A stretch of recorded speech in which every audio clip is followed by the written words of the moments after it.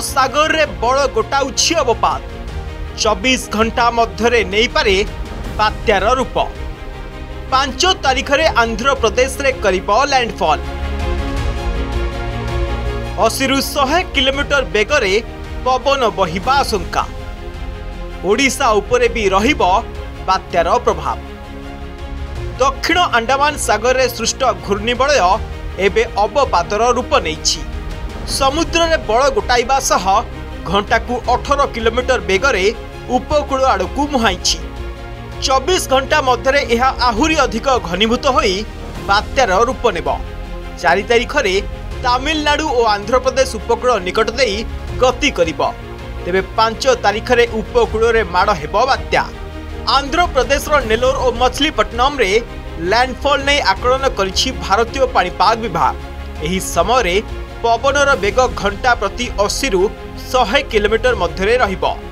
ବର୍ତ୍ତମାନ ଏହା ପୁଡୁଚେରୀରୁ ଚାରିଶହ ଚାଳିଶ ଓ ଚେନ୍ନାଇରୁ ଚାରିଶହ ପଚାଶ କିଲୋମିଟର ଦୂରରେ ରହିଛି। तो ये अगले 24 घंटे के अंदर हमारा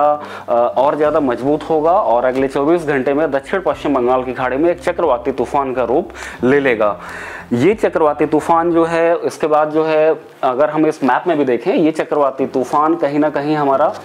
उत्तर पश्चिम दिशा में आगे बढ़ेगा और जो हमारा तमिलनाडु और जो आंध्र प्रदेश का तट है, उसके पास से होकर के आगे गुजरेगा और इसके बाद चार तारीख की शाम, यानी कि चार तारीख की शाम से ये जो है उत्तरी दिशा में जो हमारा तटीय तटीय इलाका है आंध्र प्रदेश का, उस तट के पास पास से होते हुए आगे की तरफ़ बढ़ेगा और मछलीपट्टनम और जो नेल्लोर है हमारा आंध्र प्रदेश में, वहाँ पे पाँच तारीख को दोपहर को ये टकराएगा। और जिस समय ये चक्रवाती तूफ़ान हमारा आंध्र प्रदेश के तट से टकराएगा उस समय हवाओं की गति लगभग 80 से 100 किलोमीटर प्रति घंटे हमें देखने को मिलेगी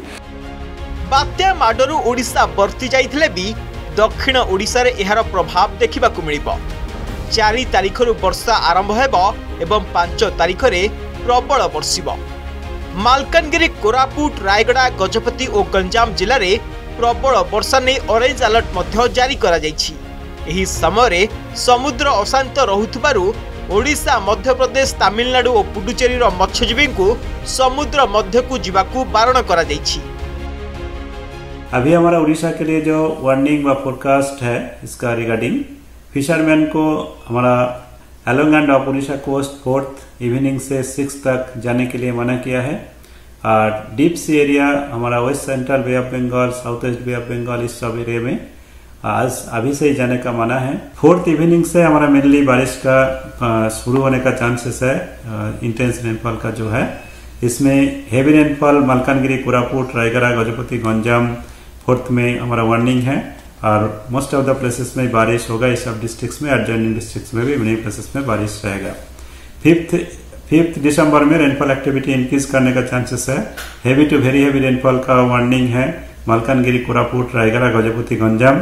नवरंगपुर कलाहंडी कंधमाल पुरी में भी हेवी रेनफॉल का चांसेस है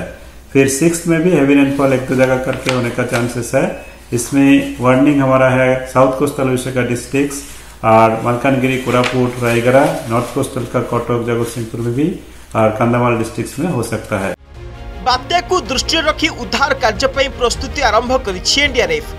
ଓଡ଼ିଶା ମଧ୍ୟପ୍ରଦେଶ ତାମିଲନାଡୁ ଓ ପୁଡୁଚେରୀ ପାଇଁ ଅଠରଟି ଟିମ୍ ନିଯୁକ୍ତ କରାଯାଇଛି ଆଉ ଦଶଟି ଟିମ୍କୁ ଆଲର୍ଟ ମୋଡ୍ରେ ରଖାଯାଇଛି ତେବେ ବାତ୍ୟାର ରୂପ ନେବା ପରେ ଏହାର ନାଁ ରହିବ ମିଚୁଆଙ୍ଗ